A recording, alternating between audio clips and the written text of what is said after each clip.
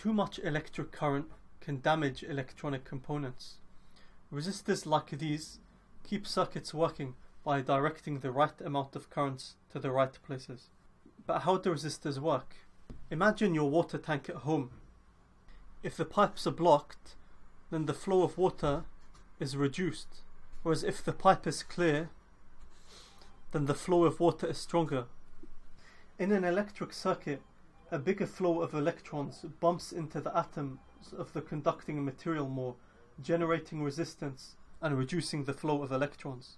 So if we introduce an obstacle or increase the length of the pipe, then the electric current will be reduced. And this is how resistors work. Now the two types of resistor we normally use in an electronic project are these. This dark brown one, a carbon film resistor, and this blue one, a metal film resistor. Now if we were to scratch off the layer of paint on the outside, what we'd see is this. We have an insulating rod with spirals of conducting material. Now just like a loop of wire, these spires of conducting material, which can sometimes be cut into the resistor with lasers, offer a longer path and hence more resistance to the flow of electrons. And the greater the number of spirals, the greater the resistance. Resistance is measured in ohms, represented by the Greek symbol omega. We calculate resistance using the formula known as Ohm's law, which is I equals V over R, or current I equals volts divided by resistance in ohms. There are many different types of resistors. Here are some of them.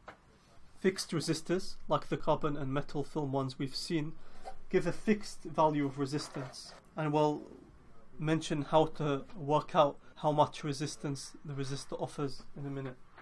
A thicker film resistor, like these, can ha- handle a greater amount of power. So these can handle a quarter of a watt and these can handle 2 watts of power. Our second type of resistor are variable resistors or potentiometers like these. And these are so called because we can vary the amount of resistance they offer. So they'll have a maximum resistance value, which is sometimes written on the front of the resistor like this. So this is a 10k ohm, which means 10,000 ohm resistor. This is the maximum amount of resistance it offers. And we can increase or decrease the resistance by turning the dial like so. Even the potentiometers with the same resistance value can work differently so make sure you check the data sheet uh, from the manufacturer. And as you can see, many different packages of pots available. Here are some of them. Yet another type of resistor are these LDRs. And the way LDRs work is that the greater the amount of light, the lower the resistance. But again, some LDRs are manufactured differently, so their relationship to the light intensity, you know, how much resistance they give according to how much light there is can actually be the reverse. So be sure to check the manufacturer because even though LDRs can look the same, they can actually give very different maximum and minimum resistance ratings. So be sure to check with the manufacturer before buying them. The last type of resistor we're going to look at is this. And this is a thermistor. And as you might be able to guess from the name, it varies the resistance in according to the temperature. Going back to our fixed resistor, you might wonder how is it we're able to tell the resistance of this? And we would say through the color coding stripes on the body. The way the resistor color code works is that each stripe represents a number. The first stripe represents the first digit, the second stripe represents the second digit, the third stripe is known as the multiplier, and this represents the amount of zeros we have to add to the first two to give us the resistance value.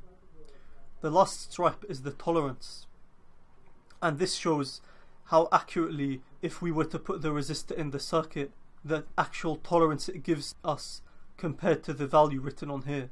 So this is a gold stripe, which means it has a 5% tolerance. So if we have a 100 ohm resistor with a gold stripe, that means it should give us 95 or 105 ohms.